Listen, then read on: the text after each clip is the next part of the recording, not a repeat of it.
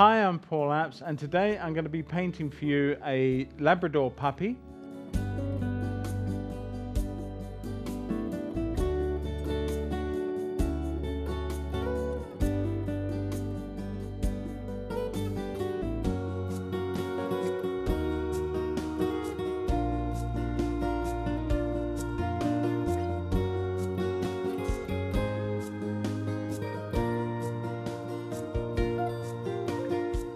And there's a relationship now building between different areas of the painting. You can put some in here, slightly bluer, and then you have accents of this working all over the painting. It's quite important to bear that in mind.